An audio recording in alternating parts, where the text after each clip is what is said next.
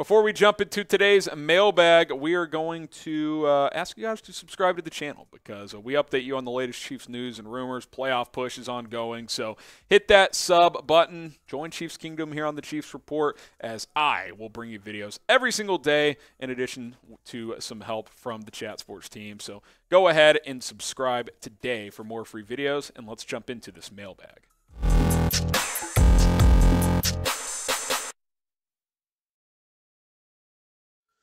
I'm Harrison Graham. Appreciate everybody for submitting their questions on today's show. Keep doing so. Hashtag Chiefs or Super Chat. We'll answer as many as we can here on today's mailbag. So we'll go ahead and jump on in here. Tony Fuentes says, Will we do great in the playoffs? We can't get these mistakes. Yeah, I mean, look, if Patrick Mahomes throws three picks in a playoff game, you're probably going to get beat, right? I mean, there's going to be a lot of better teams than uh, the Denver Broncos, uh, but uh, I will also say there probably won't be a ton of defenses as good as Denver's. Denver has a loaded defense, so uh, I think you know this team knows how to win in the playoffs. Uh, you know, you got a young secondary that can be concerning come January and February, but uh, I still think the Chiefs Chiefs have a great shot. Dip 4903. I know it's unlikely, but could you see the Chiefs trading for Brandin Cooks for an offseason trade? Trade deadline's passed, so you can't do it right now, but I could actually maybe see that in the offseason. Say Juju walks. Uh, you want to get you know someone in here that can contribute. Brandin Cooks for like a third round pick, maybe something like that. Uh, I wouldn't completely rule that out. I think he'd be a good fit here. Our junior, who could the Chiefs get in free agency or in the draft? Let's say a wide receiver one because Juju is a two. Um, I mean, if you're picking, let's just say the Chiefs have, I'll just throw it up, 30th pick, losing the AFC title game, something like that. Uh, hopefully they have the 32nd pick, because that means they won the Super Bowl. But, uh, you know, uh, I don't know if you're getting a n- true number one at that point in the draft. Maybe if Jackson Smith-Njigba slips a bit since he didn't play much this year, I think he's got wide receiver one potential. Maybe you move up into the 20s to get him, because I still think he'll go before 30. Um, there's not a free agent that you're going to get a number. I mean, Juju's the best receiver in free agency, unless you're saying it's Odell Beckham, and OBJ just hasn't played enough in the recent years. So, um, yeah, unless you're trading for DeAndre Hopkins or something like that, uh, you know, bringing back Juju's probably a good move. Chiefs lover 480. If the Chiefs lose early in the playoffs, should Spags and Bieniemy get fired? I do think it's a possibility. I mean, there were all kinds of rumors last offseason about Eric Bieniemy. You know, also, could he get a head coaching job finally? We'll have to wait and see. St- Steve Spagnuolo has been under fire from the fan base, and I do get it to an extent. I'm not defending Spag saying he's this all world defensive coordinator, but I will continue to say that the defense is better and has been better under him than it was the last few years under the prior DC. That's that's just a fact. Uh, you know, Spag's defense came up huge when the Chiefs won the Super Bowl. You can't dispute that. So, uh, but that's three years ago. Obviously, the, last year wasn't very good. This year's been a little better, but not a ton better. Uh, I do think if there's a loss in the wild card or even the divisional round, there could be some change on the staff. Uh, we'll just have to wait and see. Should the Chiefs fire Spags and Bieniemy with an early playoff exit? What do you guys think? Type Y for yes or type in for no. Think it's possible? Let me know. Beach Bro, Lou Dog, do you have any concerns on Travis Kelce dropping wide open passes? He has had a couple drops. I wouldn't say I'm concerned. Um, more just like surprised, frustrated with it, uh, which he you can tell he is too. He's like, what am I doing? Um, you know, the one was behind him, another one was like full extension. So they're not necessarily just easy, easy catchers. There have been a couple concentration drops, but I wouldn't say I'm concerned. But uh, yeah, I mean, in a big game, you, you need him to make uh, make those plays. There's no doubt. Shot Jameson. Would you swap Brown and Thuney on the O line? Thuney played good last year against the Bengals, and Brown seems to play better with less space. I don't think 15 weeks into a season they're going to flip their left tackle and left guard. Now, can Thuney play over there? Yeah, he can. He's, he's done it before. Um, but Brown has not played guard in the NFL. So I, I don't think that that type of change would come. If anything, uh, they would just bench Orlando Brown, but they're not going to do that either. I don't. If there's any change on the offensive line, I would expect it to be at right tackle. Cole Keller, do you think once the Donkeys uh, die, Nate Hackett and Bieniemy has another job, the Chiefs would be a good fit for Hackett? Hell no.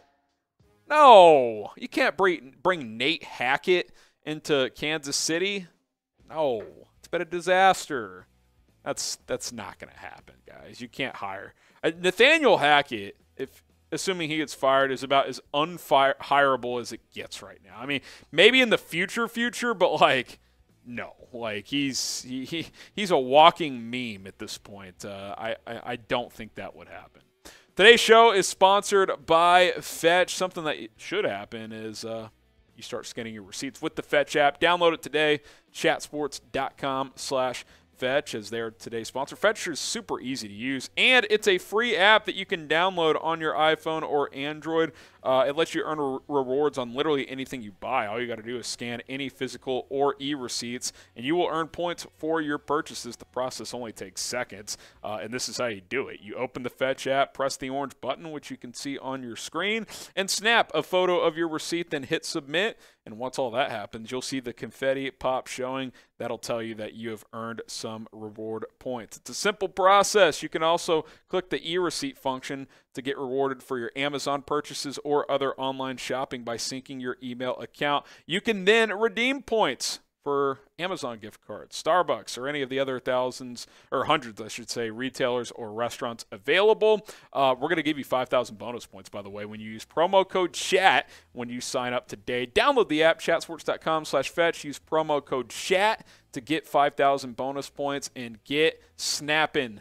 Don't be like me. I used to say, no, I don't want my receipts. Well, I'm taking them down, and I'm scanning them, and I'm getting those points. Chatsports.com slash fetch. Promo code is chat. Lennon Ackerman, do you think Isiah is and will be our RB1? Yes, he's RB1.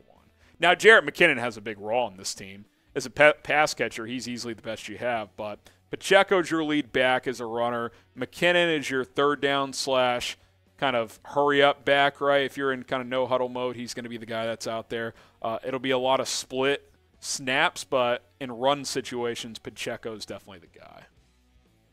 Kevin Gonzalez try for a trade for Saquon in the offseason. Well, he's a free agent, so you don't have to trade for him. Now, he could be franchise tagged and then traded, so but I like Pacheco and McKinnon as a one-two punch. I would bring back McKinnon for another year. Pacheco, I think, can be the lead back. Uh, I think you're good to go. AJ says, why not go get the DC that was with Miami? Talking about uh, Flores, their former head coach, Brian Flores. Maybe you could do that, or you could go get a Jim Leonhard from Wisconsin, who the NFL really likes, if you were to move on from Steve Spagnuolo. But um, we'll see. We'll see if Spags is still here next year or not. Beach Bro and Lou Dog, do you think the O line is disappointing after the big hype up in the offseason? A bit. Uh, I still think it's a good O line, uh, but obviously, right tackle with Andrew Wylie, it, it's never going to be great with him. I think he's been steady, but he obviously has limitations. Uh, Orlando Brown's been disappointing up and down, still has had good moments, but hasn't been the guy that wanted that huge contract. I think the interior is good, though. You got Thuney uh, and Trey Smith at guard, and then Creed Humphrey's one of the best centers in the league, so it's still a good group. Uh, but I thought it had a chance to be the best in the NFL, and that has not been the case. Chad Jameson, do you think Orlando Brown would be a better guard, similar switch to what happened to Ereck Flowers a few years ago? I mean, the difference there is Ereck Flowers was like the worst tackle ever. Like he was just so bad that they had to try him. I mean, look, I've been dogging on Orlando Brown. I don't think he's horrendous. I, I, I think he's still a decent player. He just hasn't lived up to what he's supposed to be. That's the problem. Uh, I don't think you need to move him to guard. Uh, now, should he have never gone from right tackle to left tackle once he left Baltimore? Maybe. I mean, he wanted to be a left tackle because he knows left tackles make more money. Could he be better as just a right? Perhaps. I'm not sure. Um, but yeah, I mean, there's some things to figure out when it comes to Orlando Brown. All right, a little exercise here. Type the first word that comes to mind. It can be football related, non football related. Keep it PG 13. Type the first word that comes to mind. Next up is Jerome Baker's Eric Bieniemy to the Broncos. Kind of surprised EB didn't go to Colorado instead of prime time. I'm not. If if Colorado can get Deion Sanders, I don't blame them for doing that. Obviously, Bieniemy played at Colorado. Um, the only reason I would say he wouldn't go to the Broncos is it would feel very like a Hackett hire to me. Like, oh, let's just get the OC from a good offense, even though he's never been a head coach before. So I think if Denver fires Hackett, they're going to get a guy with experience. Think like a Dan Quinn, the Cowboys DC, who's been a head coach before and gone to a Super Bowl. I think they're going to want a guy who's done the job before, not a first year guy like Bieniemy would be. Jalen says, should we trade up in the draft and get Jalen Carter from Georgia? You're going to have to trade up a lot, even if the Chiefs lost early in the first round and we're picking in the early mid 20s. Carter's going top five at worst. I mean, barring a medical or an off the field issue between now and the draft, he is a top five lock, maybe top three. So that would be awesome, but uh, that's quite a leap to move up from where they're going to be picking to the top five. Joe Fazio, why does it seem like the Chiefs have trouble adjusting once they get in trouble? When they melt down, they melt down. Just seems like they struggle riding the ship during games.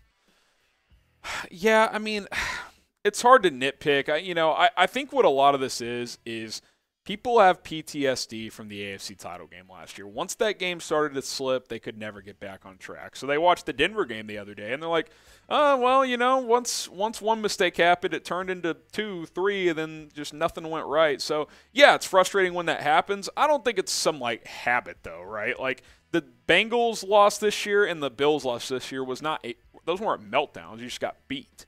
Um, so I don't think they've, you know, it's it's some habit that they have now, but yeah, it has happened a time here, a time there over the past couple of years, and you know, certainly you can't afford for that to happen in the playoffs. You can't let one bad mistake cost you a game. You you got to right the ship and get back to work.